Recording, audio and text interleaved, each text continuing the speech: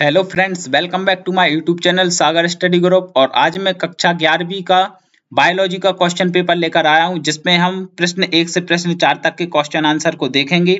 तो आइए हम देखते हैं हमारा पहला क्वेश्चन तो हमारा पहला क्वेश्चन है, सही विकल्प चुनकर लिखिए। तो इसमें पहले का आंसर सी है सेकेंड का आंसर बी है थर्ड का आंसर डी है फोर्थ का आंसर बी है और फिफ्थ का आंसर ए है। तो आप यहाँ से इसका स्क्रीनशॉट लेकर इसे लिख सकते हैं।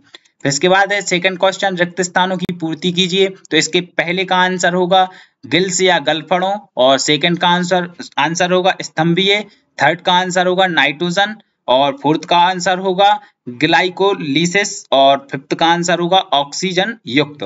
फिर इसके बाद है, सही जोड़ी बनाइए। तो इसमें पहली, पहला सही जोड़ी है हमारी जो वो है डेंड्रॉन तो इसका आंसर होगा न्यूरॉन और सेकंड है पुष्प क्रम का प्रकार तो ये होगा हमारा रेसमोस और तीसरा है मेटाफेज तो इसका आंसर होगा एक्वेटर पर गुणसूत्र, फिर इसके बाद फोर्थ क्लोरोफिल तो इसका आंसर होगा प्रकाशीय अभिक्रिया, और इसके बाद है अमोनिया उत्सर्जन तो इसका आंसर होगा बकनली का तो आप इसको लिख सकते हैं। फिर इसके बाद है एक शब्द या एक वाक्य में उत्तर दीजिए।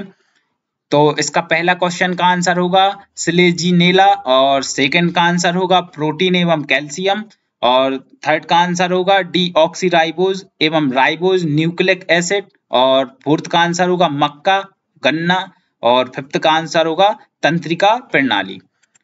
Thanks for watching like share comment and subscribe my YouTube channel और इसका सेकेंड पार्ट हम बहुत ही जल्द आपके लिए लेकर आएँगे।